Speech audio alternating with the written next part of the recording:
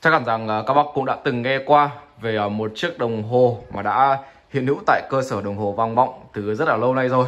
Đó là một chiếc à, Odo 5410 mặt tranh đúng không ạ? Nếu như là đã từng nghe qua mà chưa từng thực sự được thị phạm thì hôm nay em sẽ quay ở đây và để mời các bác cùng giao lưu chiêm ngắm một chút nhá.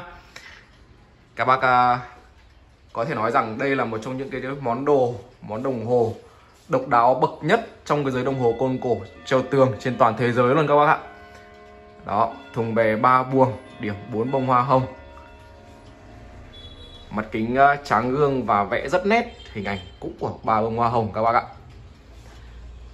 Thực sự thì à, để mà sưu tầm được chiếc đồng hồ này thì vang vọng cũng rất là dày công đấy các bác nhé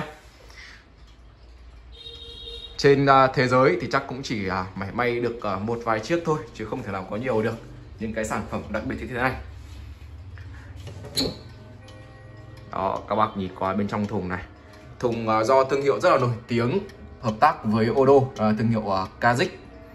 Rồi uh, cho tới một phần uh, quả lắc gỗ.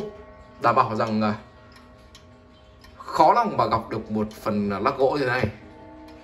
Và đây một phần uh, mặt số nổi.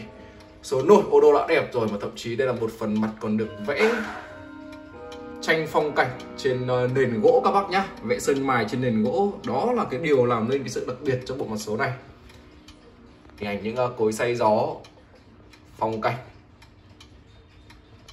Rất đặc biệt, made in France ở video số 6 này. Các bác có thể thấy nhá. Đó, khi mà chúng ta yêu thích những chiếc đồng hồ thì thực sự là đây là gần như là báu vật, đúng không ạ? Ta sẽ rất là nâng niu nếu như mà được chiêm ngưỡng những chiếc đồng hồ này hàng ngày. Rất hay. Rồi, cảm ơn các bác đã theo dõi video.